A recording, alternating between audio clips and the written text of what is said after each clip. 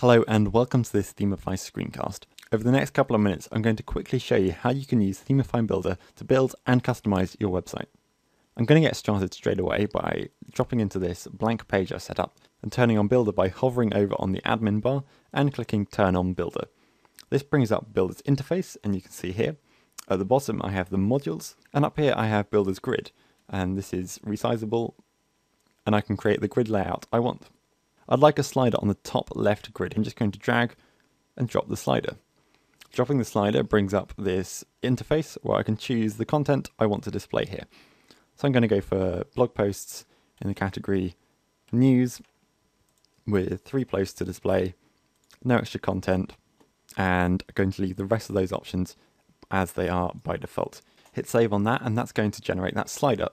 To accompany the slider on the right hand side, I'm going to drop in a text module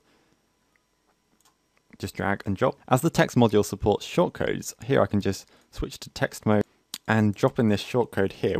Hit save on that, and that's going to generate those images.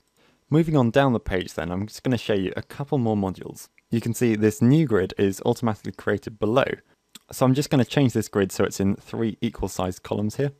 And I'm going to populate this grid with three more modules here. So we'll start off with the map module, which I'm going to drop into this middle one here.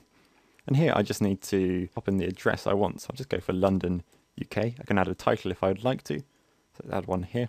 Hit save and that's going to generate that map. And I'm going to flank that with a gallery. Just drag and drop where you want it. And it will bring up the options. And here clicking insert gallery will bring up the WordPress media library. So I'd like six images here. So I'm just going to choose those six and hit add to gallery.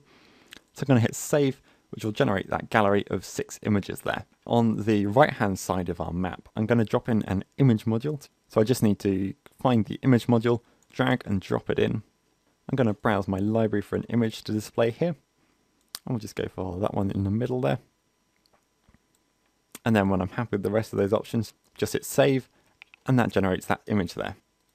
So moving on down the page, I'm going to create a new grid below this one. I'm going to start off by dropping in a menu, so just drag and drop the menu module, and then that brings up the options where I can select one of the custom menus I've created using the WordPress menu creator. So I'd like my main menu displaying here, and I'll go for rounded without the gradient.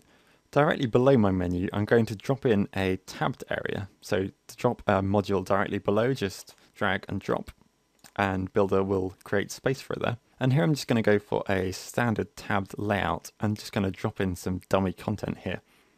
I'm happy with that, so I'm just going to hit save, which is going to generate my tabs. I'm going to show you the widget module, and you can use this to display any widget you've got set up with your WordPress installation. So I'm going to go for the just the calendar, just to show you how this works. If I'd like to display another widget below my calendar widget here, I can do so just by duplicating the module and then editing it to change the type of widget. So here I can just hover over, hit duplicate, and then double click or hit the edit button to bring back up that options panel and here I'll just display my archives with the title archives. If I wanted to change those around I could just drag and drop. To display a whole widgetized area though, I just need to drag and drop the widgetized module where I'd like it to go. So I'd like this on the far right hand side, and here I can select the widgetized area I'd like, and I'm going to go for sidebar here. Hit save on that, and that's going to drop the whole sidebar onto my Builder grid. So now if I turn off Builder, you can see what we've created in just a couple of minutes. This three column layout with the menu, the tabs, and the widgets and the widgetized area. This equal three column layout of gallery, map, and image. And at the top, I've got this magazine style slider, and featured content area. Themify Builder is available in all Themify themes or as a standard WordPress plugin which works with any theme, whether it's a premium theme, a framework, or a custom built theme.